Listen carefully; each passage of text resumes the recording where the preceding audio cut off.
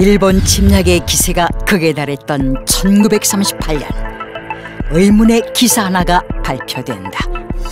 그것은 바로 한 학교에서 벌어진 연쇄 실종 사건.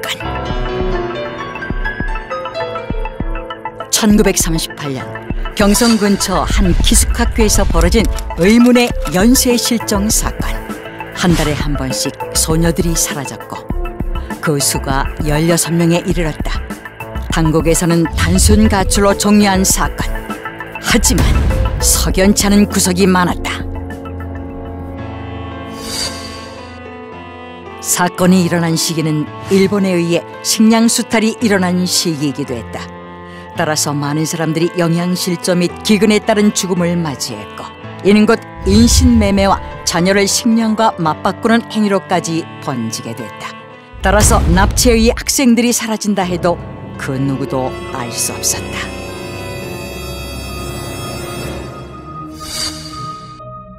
또 다른 의혹은 바로 위생관리 소홀에 의한 사망이라는 점이다.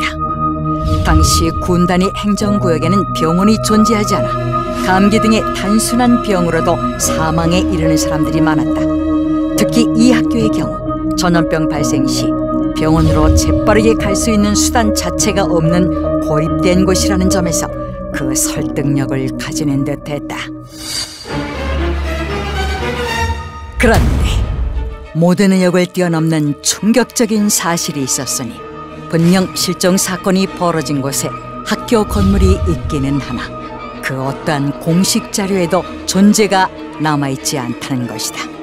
인적이 드문 고립된 지역에 세워진 공식 기록조차 남아있지 않은 것. 어린 여학생들로 구성된 점에서 이곳이 절대 일반적인 기숙학교가 아님은 명확하다. 폐교되기까지 총 16명의 실종된 소녀들은 과연 어디로 어떻게 사라진 것일까? 친구들의 실종에 대해 아는 바가 전혀 없는 하지만 사라진 소녀들의 환영을 종종 보곤 했다는 남은 소녀들과 사라진 그녀들은 과연 어떠한 일을 겪었던 것일까?